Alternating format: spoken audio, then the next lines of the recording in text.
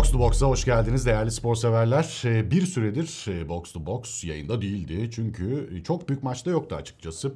Daha çok büyük maçlara odaklanıyoruz. Burada Gennady Golovkin bu hafta e, dövüştü. Triple G Japonya'da Ryota Murata ile karşı karşıya geldi. E, orta siklette kemer birleştirme karşılaşmasında IBF'in şampiyonu Gennady Golovkin WBA'in şampiyonu Murata ile buluştu. Ryota Murata tabii ki e, Naoya Inoue'den de daha büyük bir yıldız aslına bakarsanız e, boksta Japonya'da en fazla ilgi çeken boksör olduğunu söyleyebiliriz. O yüzden de Japonya için de e, önemli bir eşleşmeydi, önemli bir karşılaşmaydı.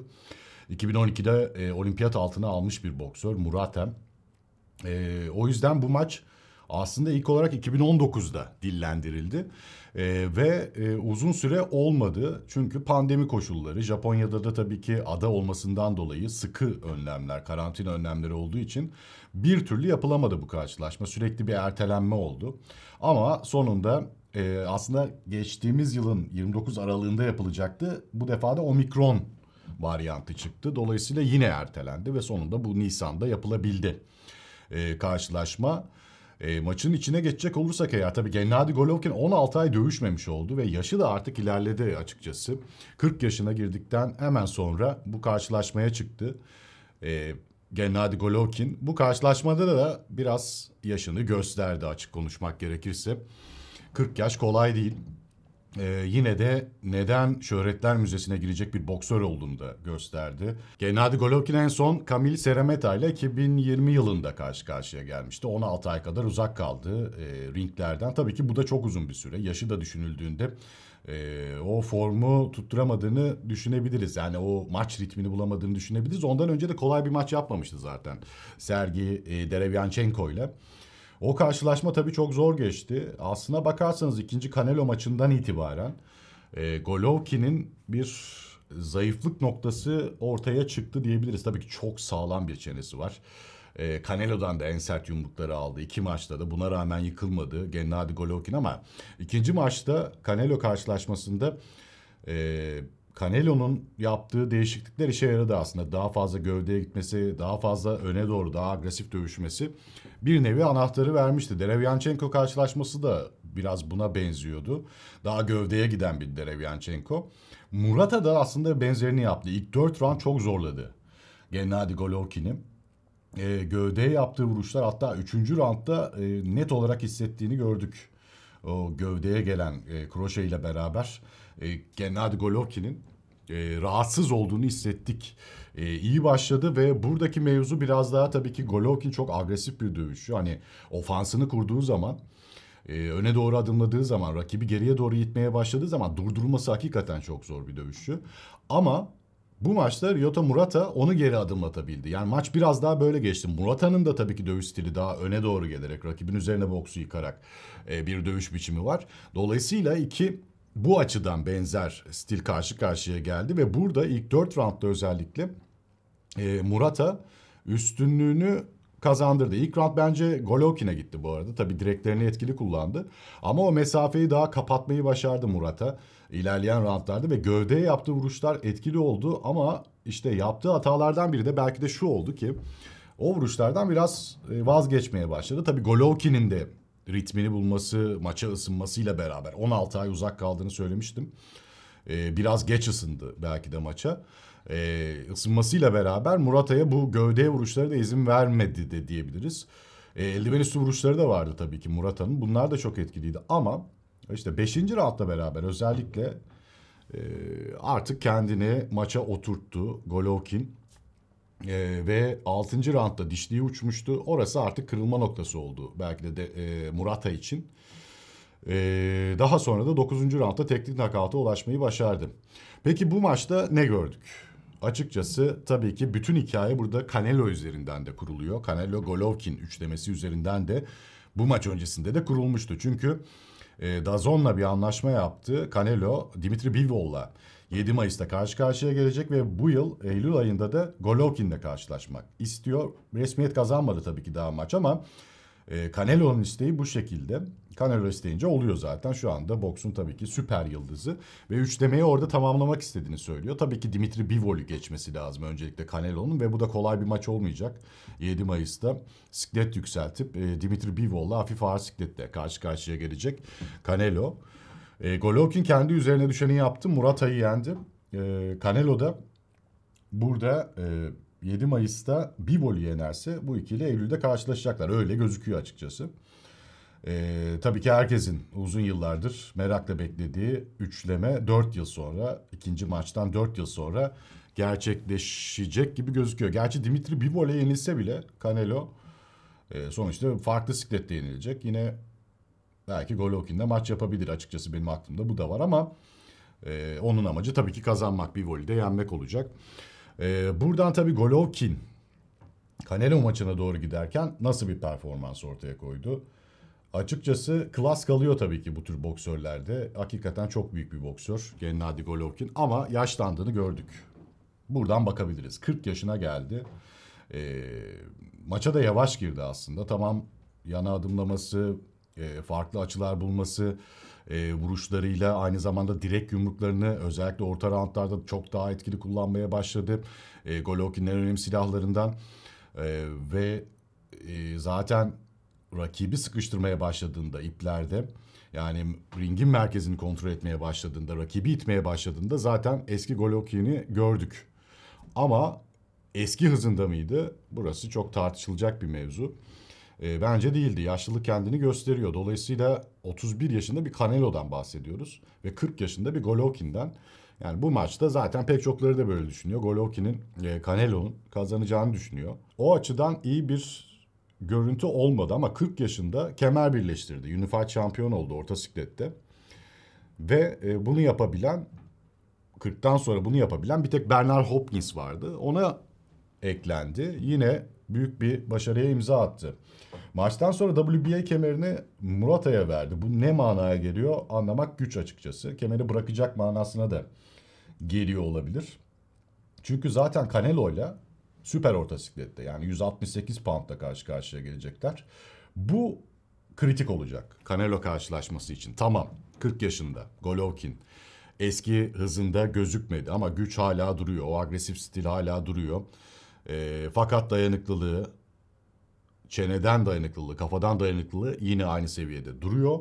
Fakat gövde burada e, zayıf nokta. Hani Canelo'da zayıf nokta göremezken Golovkin'de dediğim gibi ikinci Canelo maçıyla beraber başlayan Derevyanchenko maçıyla beraber daha yukarıya çıkan Murata da bunu kullandı. Canelo da tabii ki Eylül'de olacak olası karşılaşmada bunu kullanacak. Bu açıdan bir error veriyor yani bir hata veriyor. Ama öyle büyük bir boksör ki o sıkıntı yaşamasına rağmen, rahatsız olmasına rağmen gövdeye vuruşlardan maçı toparlamayı başardı. Tabii ki Murata ile Canelo'yu burada karşılaştıramayız şüphesiz. E, yani Canelo muazzam bir seviyeye geldi. Hakikaten şu anda muhtemelen kendini yenilmez hissediyor. Yani dövüşçülerde bu vardır. Sadece boksörlerde genelleme yaparsak dövüşçülerde böyle bir durum var. Ee, bana kalırsa yani fiziksel ve mental olarak en iyi durumunda Canelo. Dolayısıyla kimsenin onu yeneceğini düşünmüyor bana kalırsa. Hani bu tür bir dövüşçüden hakikaten korkulur. Ee, Canelo da o seviyeye geldi. Yani zirvesinin tam noktasında. Golovkin ise zaten Golovkin e, Canelo ile karşılaşmaya ilk maç, ikinci maç o dönemde inişteydi. Yani zirvesini geçmişti. Golovkin'in tabii eksileri arasında, eksileri demeyelim, kariyerindeki e, sıkıntılar arasında Golovkin zirvedeyken hani büyük maçlarda çoğu boksör onunla karşılaşmak istemedi. Yani Kazakistan'dan geldiği için de tabii ki yani PR'ını kurması kendi ilgi alanını kurması Amerika Birleşik Devletleri'nde biraz sürdü açık konuşmak gerekirse. Olimpiyat madalyalı bir boksör. Yenilgisiz olarak Amerika Birleşik Devletleri'ne geldi. Ça- bir tane çantayla geldi. Abel Sanchez de çalıştı. Ee, ve bir süre aldı. Ama Golovkin hani nakatlarla gitti zaten. Her zaman e, tabii sıkıntılarından bahsettik. Gövdeye vuruşlarında yaşadığı sıkıntılardan ama Golovkin'in e, eğlendirmeyen bir maçı yok onun güçlü döneminde, zirve döneminde bana kalırsa diğer rakipleri ondan çekindiler. Açık konuşmak gerekirse Canelo'yu da bu listeye yazabilirim. Hatta maçları zaten ilk maç hani berabere verilmişti. ikinci maç Canelo'ya verildi. Çok tartışmalı. Golovkin iki maçı da kazandığını düşünüyor ki e, buna itiraz etmek zor. E, ilk maçı zaten hani net kazanmış gibi gözüküyor ama orada Adelaide Bird denilen bir hakemin yaptığı bir mevzu vardı. Tabii ki boksta hakemler tartışılıyor. E, nihayetinde o iki maç bitti.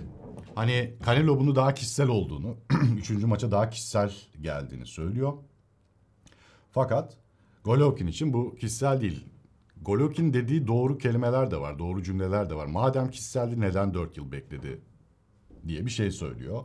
Çünkü Canelo'nun e, doping cezası aldığı dönemde eleştirmişti Golovkin. Dolayısıyla bu işi kişisel bir mevzu haline getiren asıl konu bu. Canelo için ama yani kişiselden öte bu üçlemeyi kapatmak istiyor tabii ki Canelo ve e, yine doğru zamanda e, doğru eşleşme 40 yaşına gelmiş bir Golovkin'le e, kazanacağını düşünüyor tabii ki. Favori olacak şüphesiz o karşılaşmada ama önce Bivoli geçmesi lazım. Nihayetinde o maça doğru gidiyoruz ama Golovkin çok parlak gözükmüyor fakat hala tehlikeli mi? Hala tehlikeli. Ee, burada üzerine düşeni yaptı. Murata'yı yendi. O maça doğru gidiliyor. Tabii şunu da ekleyeyim. Jonathan Banks ile çalışıyor. Emmanuel Steward'ın eski e, öğrencisi ve Vladimir Klitschko'nun eski koçu. E, bunun da pozitif bir etkisi var gibi gözüküyor. O maça doğru gidilirken onun 7 Eylül'de olacak o karşılaşma eğer olursa. E, tabii 168 pound olması onu söylemeyi unuttuk. Bu aslına bakarsanız Golovkin'e yarayabilir. Çünkü tartıda da biraz e, ne diyeyim güçsüz, enerjisi düşük gözüktü Golovkin Murata tartısında. Ee, böylelikle o 8 pound aslında işine yarayabilir gibi gözüküyor süper orta siklette. Tabii e, öte taraftan süper orta siklete oturmuş bir Canelo var. E, 4 kemer de onda. E, ve ilk kez süper orta siklete dövüşecek bir Golovkin var. Tabii ki buradaki e, bu sikletteki tecrübe farkı Canelo'dan yana. Ama fiziksel olarak onun işine yarayabilir. Hani bu maçta Murata maçında biraz yavaş başlamasının nedenlerinden biri de bu da olabilir. Çünkü sonradan açıldı. E, dolayısıyla bir sürü varyantın olduğu, Canelo'nun tamam favori olduğu ama e, bir sürü değişkenin olduğu ve bu değişkenin değişkenlerin de belirleyici olabileceği bir süper maça doğru gidiyoruz. Öyle gözüküyor. E, hafta sonunda bir de Ryan Garcia dövüştü. E, Emmanuel Tego karşı karşıya geldi. Ganalı boksörle Ryan Garcia. Ryan Garcia da 15 aydır dövüşmüyordu. E, King Ryan. E, ve tabii ki çok ilgi çeken bir boksör. E, yine dolu tribünler önünde maçını gerçekleştirdi. Bir kemer karşılaşması değildi bu karşılaşma. Ryan Garcia'nın dönüş maçıydı ama. Ryan Garcia bu maçta erken knockout beklediğini söylüyordu. E, ikinci ya da üçüncü roundda. İkinci roundda aslında yere indirdi e, Tego'yu ama Tego çok dayanıklı bir boksör ve o kırışmalara girmedi. Daha sonra da sıkıntı yaşadı Tego. Fakat 12 roundu kapattı. Hemen hemen her roundu kaybetti zaten Tego. Rakiple hani kırışmaya girmeyerek hani tek tek round round bakmaya çok fazla gerek yok bu karşılaşmaya. Ee, Ryan Garcia ilk kez bir maçı e, hakem kararına gitti. 12 round ilk kez dövüştü Ryan Garcia. Ee, ve kazandı tabii ki hemen her roundu. Ee, ama iyi bir izlenim verdi mi? Açıkçası bu kadar uzun süre tabii uzak kalması belirleyici. O da 15 ay dövüşmedi. Aynı zamanda sorunlar yaşadı. Geçtiğimiz yıl Javier Fortuna ile karşı karşıya gelecekti Ryan Garcia aslında ama mental sıkıntılarını, mental olarak e, yaşadığı sorunları e, neden göstererek o maçtan çekildi. Daha sonra Jojo Diaz'la karşılaşacaktı fakat el bileğinden sakatlandı. Bir ameliyat geçirdi. Jojo Diaz maçı da iptal oldu. Jojo Diaz Fortuna ile karşı karşıya geldi. Onu yendi. Ee, ve bu yıla gelindi. Bu yıla gelinirken de aslında yine e, çalkantılı bir süreçten geçtiğini söyleyebiliriz. Ryan Garcia Canelo'nun takımındaydı. Her, bir nevi her şey Canelo'ya çıkıyor gibi şu son dönemde. Eddie Reynoso'nun koçluğunu yapıyordu ama bundan memnun değildi. Yani Reynoso'nun koçluğundan değil, Reynoso'nun ona vakit e, ayırmamasından memnun değildi. Ee, hani onunla çalışamadığını ifade ediyordu. Yani ortada olmadığını Eddie Reynoso'nun. Eddie Reynoso da tabii Canelo'nun da koçu aynı zamanda. Çok büyük bir koç. E, fakat Ryan Garcia bundan faydalanamadığını söyledi. Arada çatırdamalar oldu. E, Canelo eleştirmişti geçtiğimiz yılın sonunda Ryan Garcia'yı yani çalışma etiğinden memnun olmadığını söylemişti. Hani Garcia da e, ayrıldı Canelo'nun takımından açıkçası. Burada böyle bir durum var. E, açık konuşmak gerekirse şöyle bir durum var. Hani Virgil Ortiz de o takımdaydı. Virgil Ortiz'in koçu da Eddie Reynoso'ydu.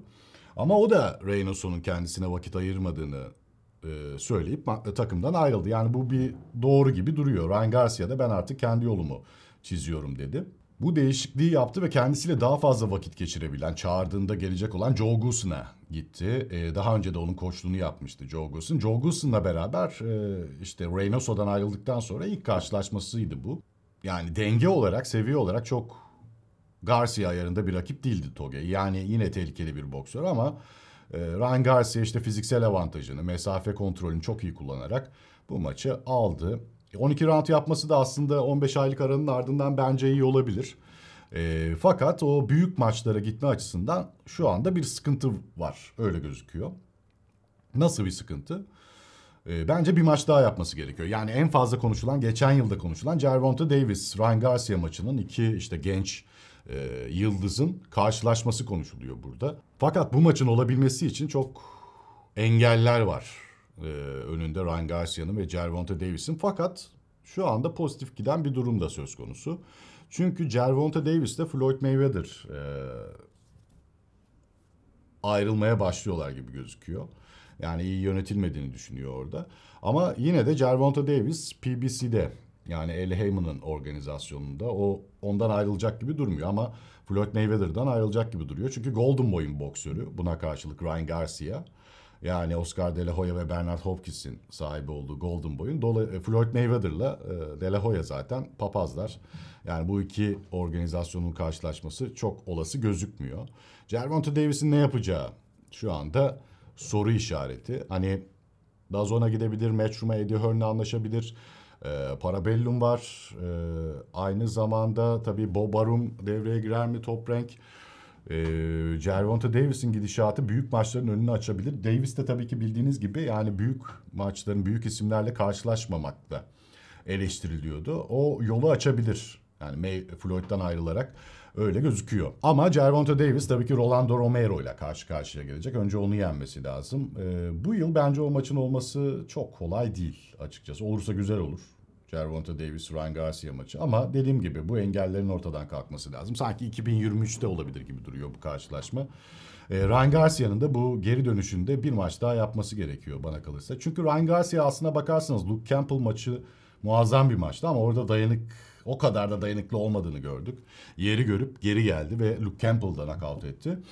E, en iyi maçı oydu. Dolayısıyla e, daha farklı isimlerle de karşılaşabilir. Biraz Jojo Diaz olabilir mesela. Ee, Jojo Diaz da zaten geçen sene maç yapacaktı. Bu gecede de Jojo Diaz yorumcuydu kenarda. O eşleşme olabilir. Yine Gervonta Davis eşleşmesi önünde. Tabii bu siklette Devin Haney ile George Kambosos karşı karşıya gelecekler. Avustralya'da kemer birleştirme karşılaşması süper olacak. Hani oradan ki gelişmelere göre tabii orada bir rövanş durumu da olabilir o eşleşmede. Oradaki gelişmelere göre yine bir rakip olabilir.